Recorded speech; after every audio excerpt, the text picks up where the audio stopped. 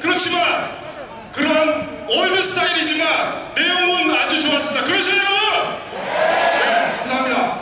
이번에는 김은수님께서 우리에게 또 중요한 문제이기도 하죠.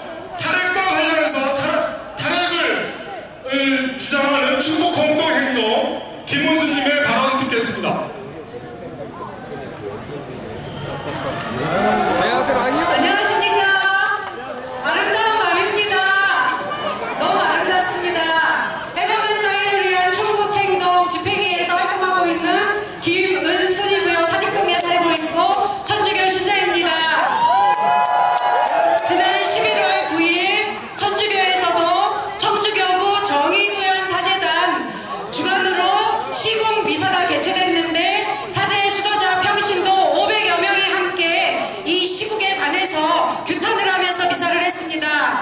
지난 광화문에 100만 명 중에 1인으로 저도 참석하고 올라 내려왔습니다.